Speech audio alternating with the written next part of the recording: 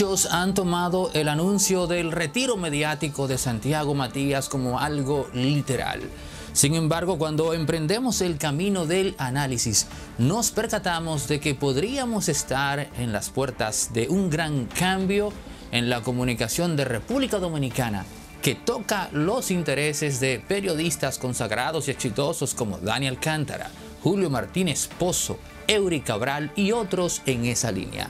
Acompáñanos en este capítulo de Impolíticamente Correcto a no tomar muy a la ligera este anuncio de retiro, entre comillas, de Alofoque.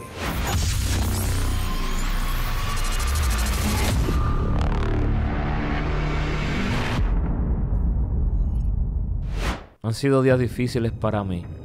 He pensado hasta en el retiro de los medios de comunicación. Sonará un poco clickbait o, un poco que estoy buscando sonido, pero ese es el sentimiento que, he tenido en, los últimos días, porque han sido muchos años trabajando de manera ininterrumpida. Y le he dicho a mi madre, le he dicho a mi gente cercana que estoy cansado mentalmente. Hay un cansancio físico que te agota, pero el cansancio mental es peor, te consume completo. Y es lo que siento ahora mismo. No me siento bien desde el jueves.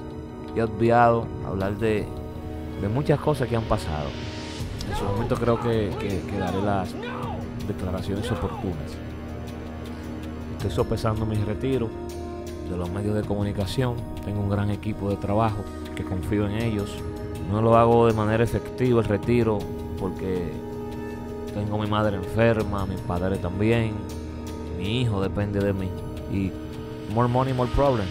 Más dinero, más problemas. Mientras más uno crece, más responsabilidades uno se mete.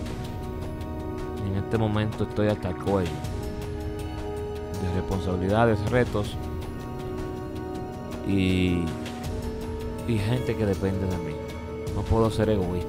Mucha gente se ha ido con el amague en este anuncio repentino e inesperado de retiro de Santiago Matías. Y digo con el amague porque hemos tomado como bueno y válido el anuncio como tal y ni siquiera es un asunto de cuestionarnos si es real o si obedece a una estrategia mediática para mantener la vigencia. Y yo digo de manera categórica de que ambos ejercicios son futiles, son inútiles, porque incluso siendo algo verídico, teniendo Santiago Matías la humana intención de desaparecer de los medios, él estaría obligado a volver el mes que viene, dentro de tres meses, dentro de un año.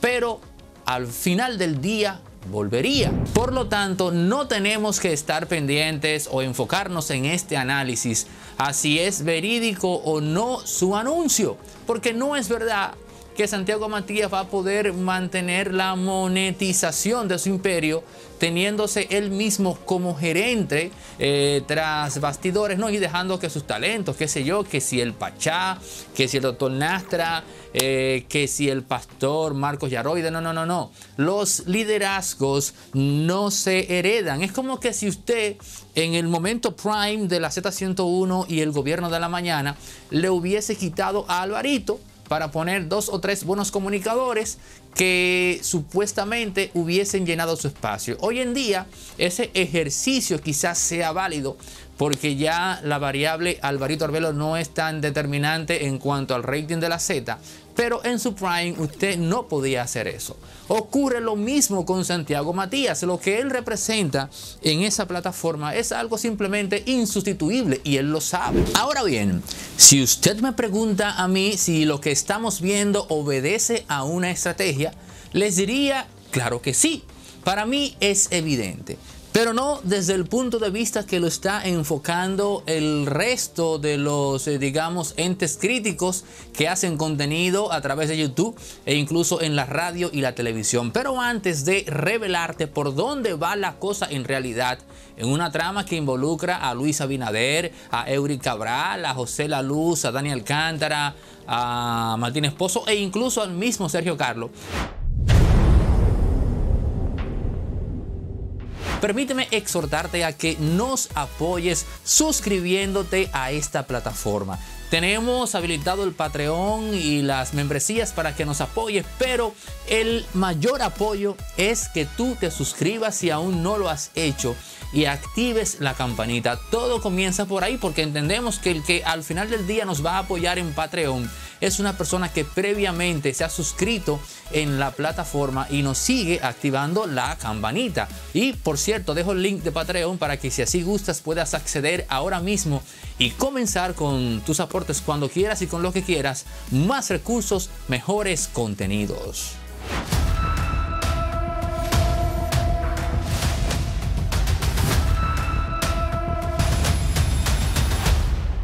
Para que usted pueda entender este juego de poder, vamos a olvidarnos de Alofoque por un minuto y vamos a concentrarnos en Luis Abinader y Danilo Medina, que son la causa por la cual Alofoque decidió retirarse de los medios. Pero tenga paciencia y escuche esto. Luis Abinader está implementando un juego muy sofisticado y fino de cara a las bocinas. Luis quiere que los periodistas bocinas, que, eran elementos afines a Danilo Medina, suelten en banda al expresidente y se acerquen no al PRM, sino más bien a él. Pero ¿dónde está lo sofisticado?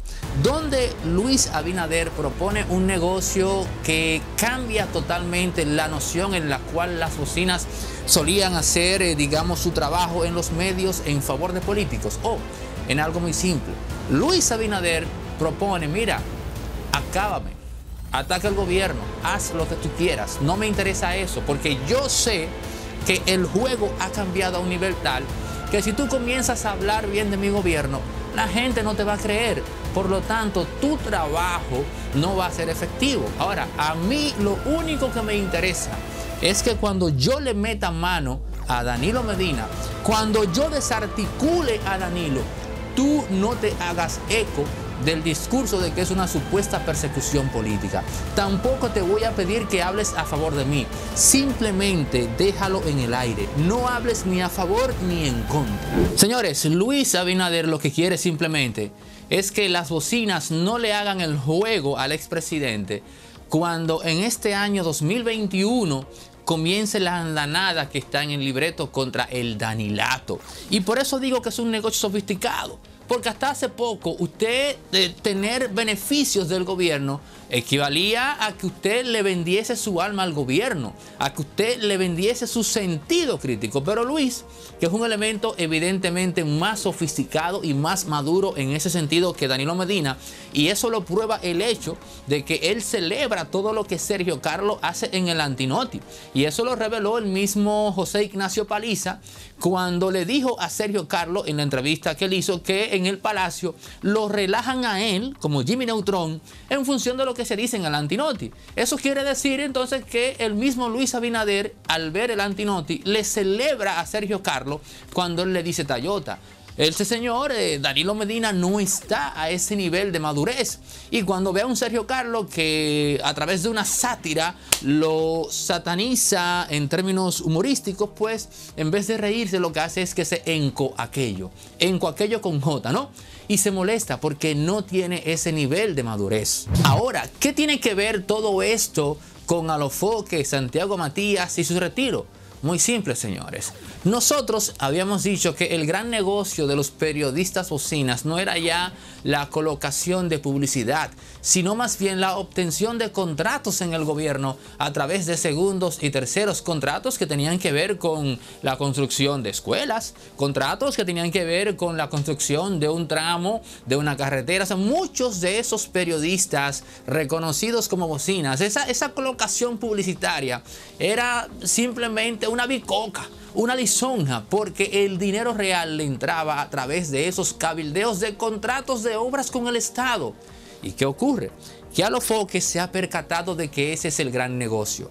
¿Y en qué punto Alofoque revela ese interés ya por, digamos, dar el gran paso? Oh, cuando él dice que tiene otras, eh, otras eh, obligaciones, por así decir, cuando él dice more money, more problem, es decir, más dinero, más problema, todo aquel que tiene una empresa sabe que para mantener una nómina, por ejemplo, de 100 mil pesos al mes, si usted la asumió entrándole 200 mil pesos, usted está obligado a cuadruplicar esas ganancias en aras de mantener esa nómina. Con Alofoque está ocurriendo algo similar. Llegó un punto en el cual él asimiló que tiene que dar el gran paso para mantener en pie su imperio. Y ese gran paso, señores, es entrar en el mismo negocio que están otros periodistas bocinas. Señores, la estrategia de Lofoque con esto no es otra más que darle a entender al presidente Luis Abinader el peso real de su nombre en la sociedad dominicana.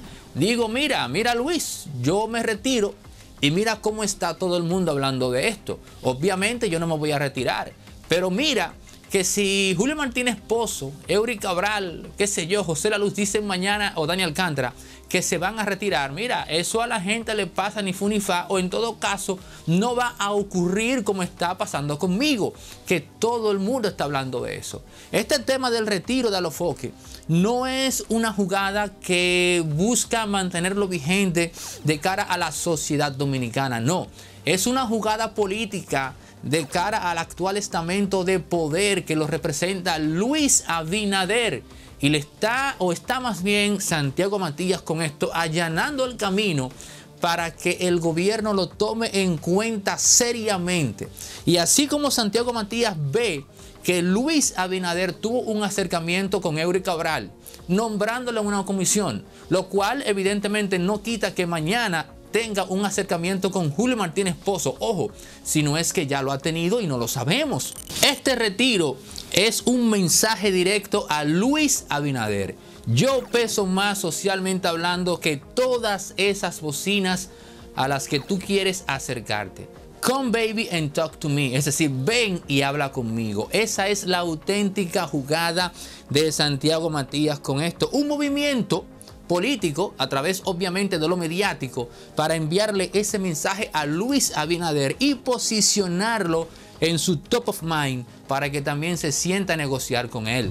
Y si tomamos en cuenta que Santiago Matías eh, maneja perfectamente el tema de la comunicación digital en República Dominicana como nadie y también el aspecto de la, de la monetización, es decir, cómo hacer dinero a través de estas plataformas, a un punto que podríamos decir sin el más mínimo temor a equívoco de que un Antonio Espaillá, amén lo efectivo que ha sido en el manejo de la comunicación análoga, cuando usted lo lleva al plano de YouTube y otras, y otras plataformas aledañas, usted se percata de que Santiago Matías está aquí y Antonio Espaillá aquí abajo. No, este es Antonio y este es Santiago Matías, ¿no? Incluso yo recuerdo que hace un año y pico Antonio le propuso a Santiago Matías que fuese a trabajar desde sus, una de sus emisoras, a lo que Santiago Matías dijo muy inteligentemente que no. Hoy en día compra una emisora junto con, con este muchacho, con Osuna, la está dirigiendo, en fin. Es decir, que este joven tiene un ascenso que si usted lo ve desde el punto de vista de la suma cero, en el momento mismo que Luis Abinader se percate o le compre el cuento de que él es un elemento influyente en verdad, pues le aguaría el negocio a un Julio Martínez Pozo y a un Eric Cabral y otros más, porque simplemente los estaría desplazando. No podemos hablar de que Santiago Matías no es influyente porque no le sumó votos a Gonzalo Castillo, señores, pero ¿qué persona en República Dominicana, por influyente que sea, le podía sumar votos a un elemento que por más efectiva que fuese una estrategia, en el momento que él hablaba, simplemente desmontaba todo porque lo echaba a perder. No hacía que emanase credibilidad de la gente hacia él en función de su pobreza lexical. Como se deja ver a través de este análisis, este tema de Santiago Matías y su retiro no es tan ligero.